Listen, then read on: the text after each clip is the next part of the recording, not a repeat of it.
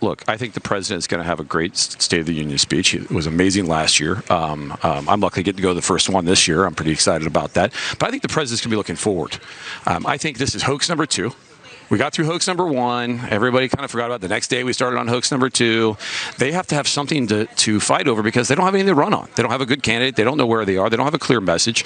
Um, I think the president's going to be looking forward to what four more years of President Trump is. Talk about what he's accomplished. So many things, just like our criminal justice ad that ran last night in the Super Bowl um, uh, on Fox, uh, clearly showed multiple people, millions of people had no idea what he had done uh, for this country and, and solving that problem. Uh, we see that focus group after focus group. I didn't know that. If I knew that, I'd change my mind.